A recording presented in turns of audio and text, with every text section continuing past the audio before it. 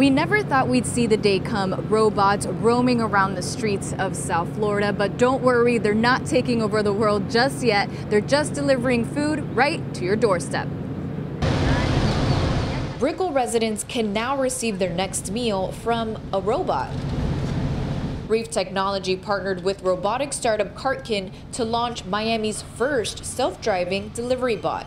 We are very interested in making Miami a tech and innovation hub, and so we think it's very important for us to be leaders in bringing new technologies to the Miami area.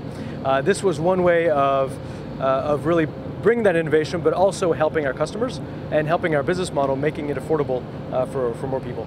So on average, our delivery costs are about 47% uh, lower than using traditional methods. So how does it work? Once an order is received, a Reef employee puts in the code to open the bot, puts the food in, then it's off to its next destination. The robots are all electric uh, and uh, so very eco-friendly and uh, they don't make uh, much noise either, so friendly for the neighborhood. Uh, they roll on the sidewalk, and they have sensors around them that basically detects uh, people, detects obstacles. We started doing deliveries through the DSPs, one of our sales channels, so Uber Eats.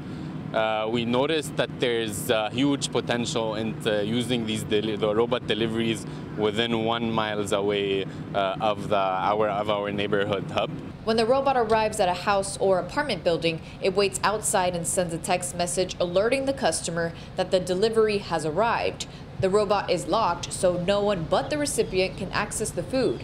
City of Miami Mayor Francis Suarez stating in Reef's press release, quote, we're proud to be ground zero for this type of exciting and forward-thinking innovation that will help reduce congestion and carbon emissions, not just in Miami, but cities around the world. Brickell resident Scott Porter says it's progressive. I, I try to reduce my carbon footprint as much as possible. Um, I have a water bottle. I don't drink plastic anymore. So, I mean, anything to help the environment. I mean, we only have one of it, so Right now, the bots are delivering orders from Reef's network of delivery-only restaurant brands, but they have plans to expand to other neighborhoods in the following weeks. We are looking at expanding to other uh, our other neighborhood hubs in the Miami area, uh, such as uh, North Miami and Wynwood, uh, and then beyond that, our other cities, Los Angeles, um, Austin, and perhaps even New York.